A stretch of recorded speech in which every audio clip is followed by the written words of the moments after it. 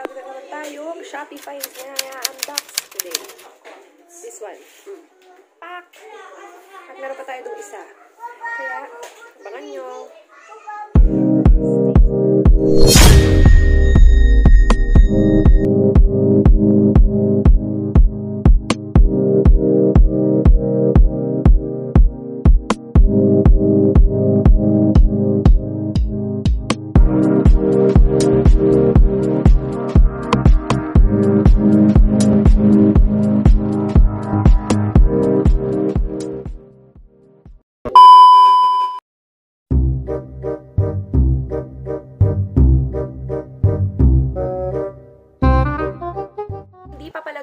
Nagtatapos yung box. Kailangan natin siyang buuhin. So now, samahan niyo ako. Let's go!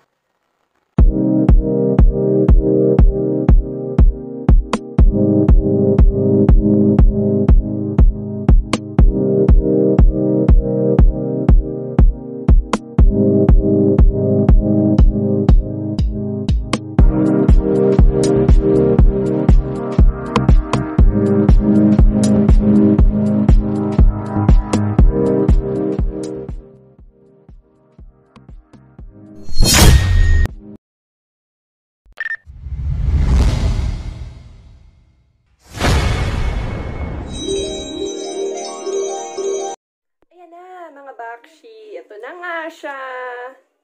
Huwag na nating patagalin. Ang very classy.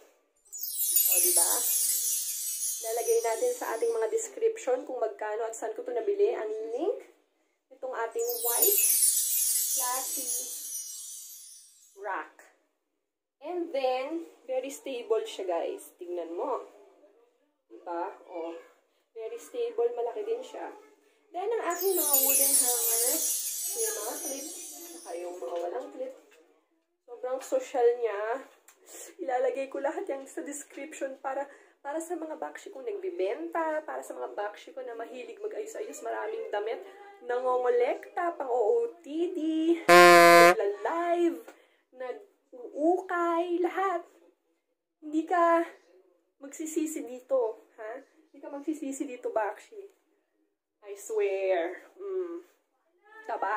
O, pasensya na kayo kasi medyo maliit yung ginagalawan nating spot, pero oh, may mga ganito pa siya. May mga sabitan pa siya, pero ka maglagay ng mga design mo dyan.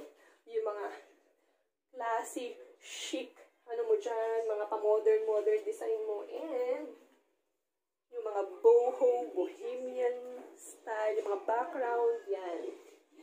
Diba? Nice.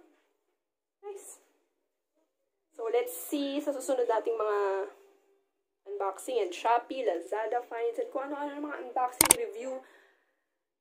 Keep on watching. Please subscribe to my channel. Thank you. Bye.